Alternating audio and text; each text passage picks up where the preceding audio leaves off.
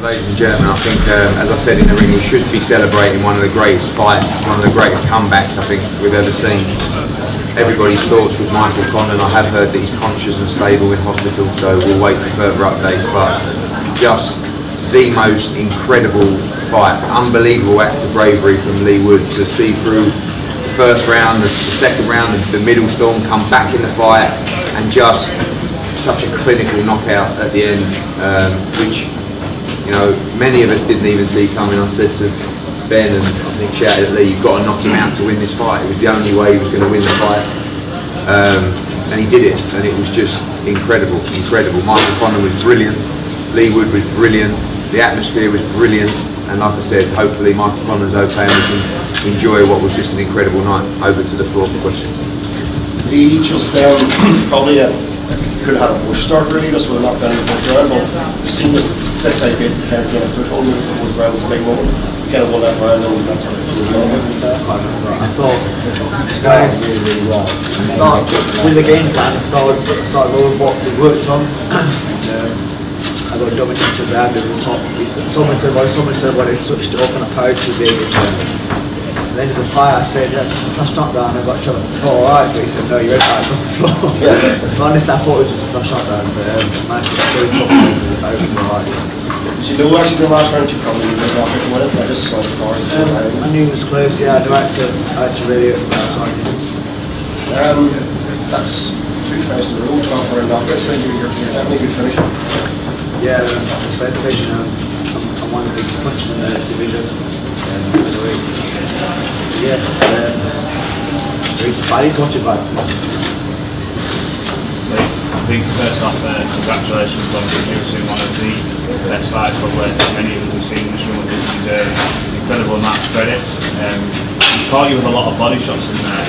How much did that take out of you? Because it looked like obviously you were looking down low because he kept trying to dig you out, dig you there. Was there a concern there that you know you felt like he was getting to you and almost going to force you stuff?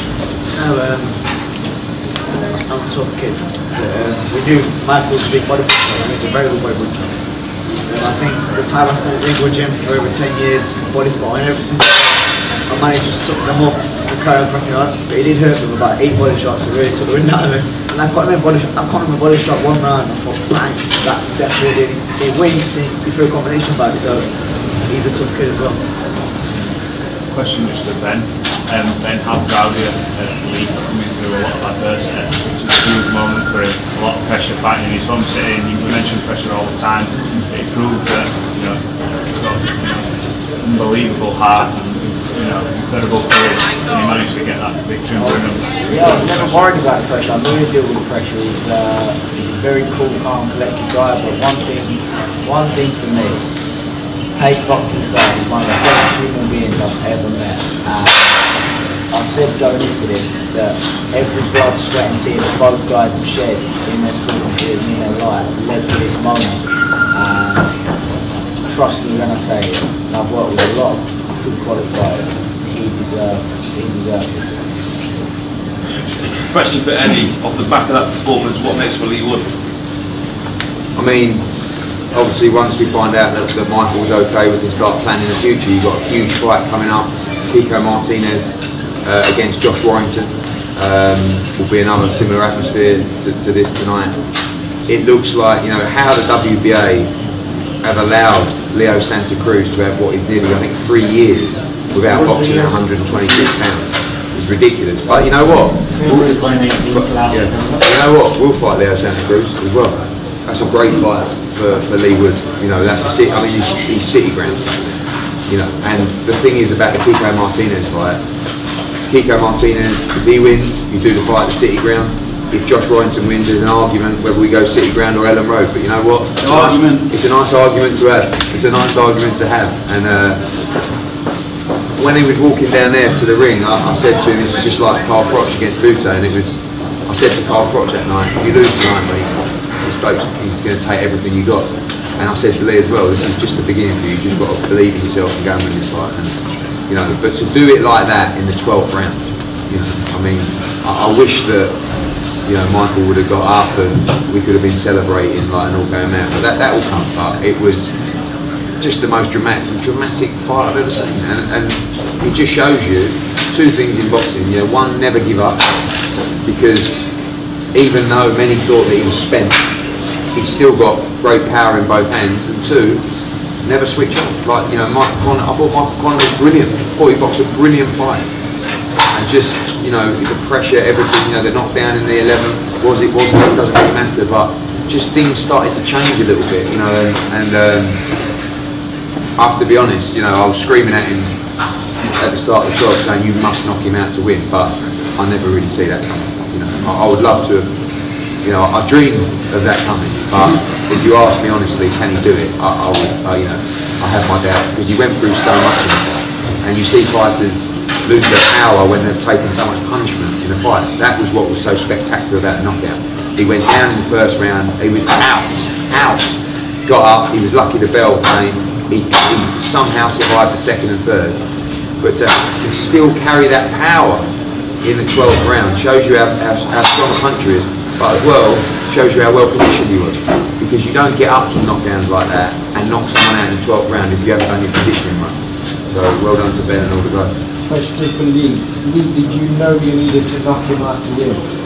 So it was time I thought I needed to do um, Vincent maybe a knockdown and hard I was just in the zone, you know. And that's hard to say. But I just gave everything like I said in the build up, you know, I ain't got to quit him. It was round one, round two, not, not for one second. Question I guess for John Hanley. Obviously, with the momentum swinging on the 10th round, was there anything you said between started at 10th round and the pressure on? Michael maybe the pins were starting to fade. Seems to be about halfway through the 10th round. You started taking No, not really. But obviously I'm a strong finisher. Um, Lead banged away at the body the whole fight as well. I know Mickey Scott banged away back the body, but that was part of we wanted to bang away at Mick's body to, to slow down the second half of the fight. He is one part of the field very on. Like some of those shots were ridiculous. And not only did he go into a shell onto fight, he fired back, fought back, like one of half a man. But it did start to take their toll and created moments for Leigh in the later parts of the fight. uh, rematches and stuff like that. It was, from an atmosphere perspective, one of the most incredible atmospheres I've ever seen. Irish fans, amazing. Leeds fans, you know, the city's been waiting for a fight like that for a long time.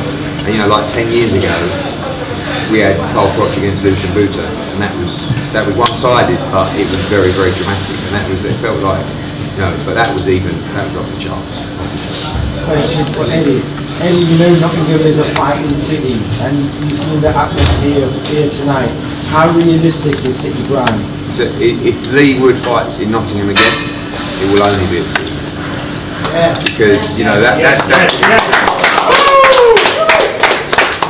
that's been his dream for a long time. And I, I promised him, I said, if you win this fight, it's a city ground. Listen, if it's Vegas or Santa Cruz or whatever it is, we'll see. But you know, for a long time, Leigh Wood has been scrimping around, right, for no money in the sport, boxing for no money on the road, and the last, you know, couple of year or so, he started making money, made a lot of money tonight, and he's going to make a load of money in the next in the next fight. And he's dedicated his whole life to the sport. And you saw, you see what he went through tonight. You know, he deserves everything he gets from here, and uh, you know, we'll make sure it's a it's a massive fight wherever it is. Can you sum up your emotions for us? Very emotional. Um, I've shed a few tears actually. Um, Hold on, mate. You're great, mate. Amazing, mate. Well done, mate. Go on, Leigh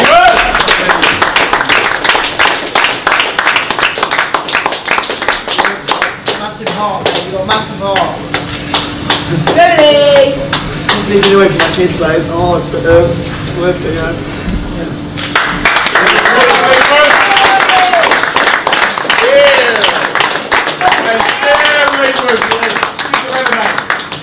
When he spoke in Belfast, he said, um, I was saying before about winning the world title, one thing to retain it's another. You just think that tonight, and that was uh, huge. Yeah, I knew um, I was prepared to go for to win that fight uh, against Nashville. I was prepared to walk through fire, so um, I knew it would be the same. So I knew, like I said before, if he was given 50, I'd give 59. If he gave 89, I'd give 90. Whatever he was prepared to give, I had to give but I had to dig deep and in the big time in this fight. Okay, a good check. And, um, I've already had before, other fights. I knew it was there, I just got to stay mentally strong. Even in the preparation for this fight, you know, I went through quite a lot. Uh, when the fight got announced, I it through my hand. I think it was a bit early for the operation, probably given a bit more time. But, um, yeah, I mean, obviously I don't want to excuses because I won, but preparation could have been better. The first score, I was caught and a few bits and bobs happened, but like any camp, you know, you, you come across hurdles, just like the fight, you know, you come across adversity. I've been through it in the camp, I've been through it in the fights, and I had that experience in the night, and I don't think um, it had not made a difference. A lot of the people here tonight, Leigh, are, are the people who've been backing you for years through the tough times because it's in Nottingham. And you you talked about wanting to fight in Nottingham. So what did that mean to have that support from all these people here? Massive, you know, um, a small percentage of them um, would have been you know, my debut at Clifton Edge Centre, a very small percentage of them. Yesterday, there's more people in my way than there was my professional debut. um, but you know, they've been following me for, for years, and um, I went to Hull when I got beat for the British title. And I was devastated. I was literally devastated for weeks. In fact, Jordan, Jordan Gill actually stayed in there over that night. I've been on suicide watch. um, no, it's, it's a journey to get to be on. And, um, I'm not prepared to, to turn over or for one bit. And um, there's some massive fights ahead. It's not over yet. I said that before the fight. This is, this is my peak. This is where I finish. Got some big fights ahead.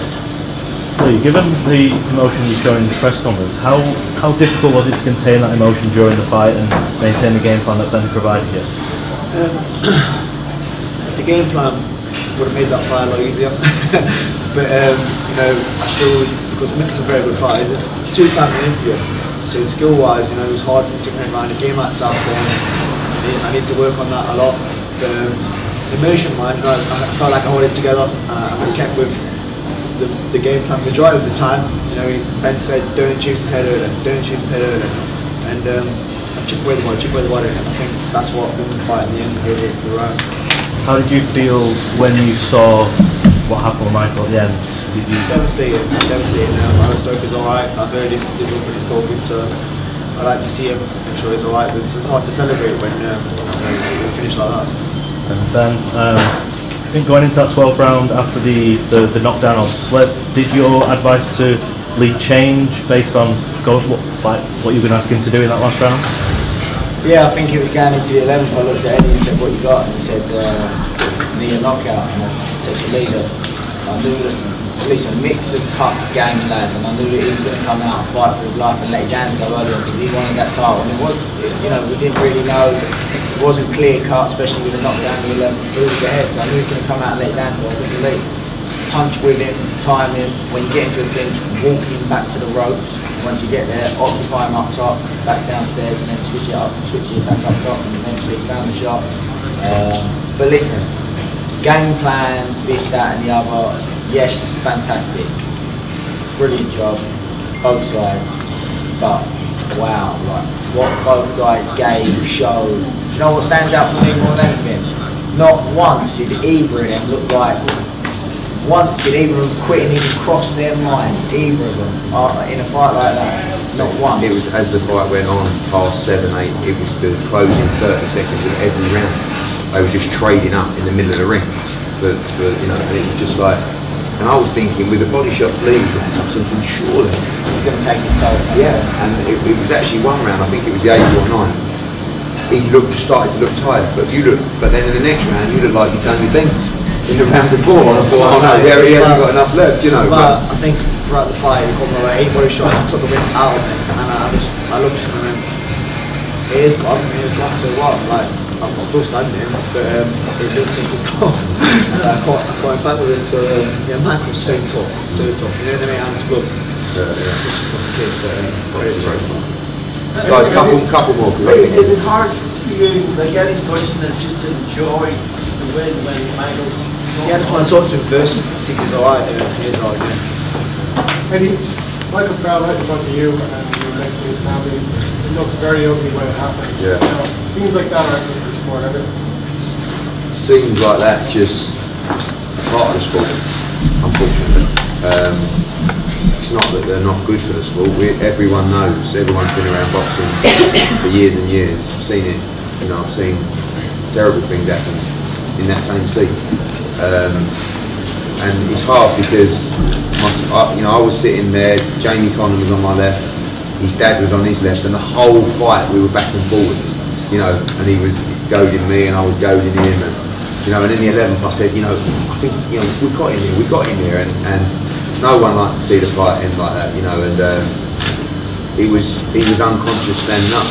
You know, he got hit by the right hand and he was he was out and, and sat, sagged through the ropes. The guys caught him on the way down and you know the fight was over before he left the ring, but obviously he, he went.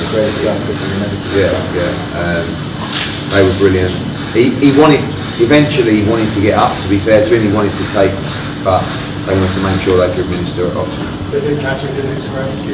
No, not. I mean, he, he was he was out on coming through the ropes, and they called him on the way down. Whether he bumped his back or, but I, don't- I don't believe that he uh, he had a significant fall on the way down. Think he hopefully more cushioned, but he was. Um, I haven't seen the replay because we're not airing it till we find that he's. I'm sure some people are, but from the pictures I've seen, you can see he's out, standing up. Then he turned and celebrated. And I think Steve Gray was stopping the fight, but when he went through the ropes, he knew 20 seconds he had to get back in the ring, which was. You know, he could have had 20 minutes. Think he might not have just hope he's okay. I just want to ask your thoughts on Gary Cully. Um, Great performance, you know, no one really does that to Miguel Vasquez, and, and for a lot of these guys, Kevin Aguiarco as well, it's a, it's a crazy experience for him. I mean, even Leigh, Leigh's never boxed on a, on a stage like that before. You know, he won the world title in our back garden. You know, he's, he's, had he's boxed on some big shows. It's true. But I said to him back there, before we went through, I, went, I said, and do, you know, I said, this is your time. I said, but most of all, soak it up up there. And you really did. You was up there for about five minutes before you decided to walk, you know, but that's part and parcel. This is what, you, I said, this is what you dreamed of your whole life. You know, like he said, when he was in Hull, got stopped by Gavin McDonnell. You honestly think he'd be, he'd be headlined at Nottingham Arena in front of 9,000 defending his world title? No chance. It's a Cinderella story. So, guys, on that note, we need to get out of here, alright? So thank you very much.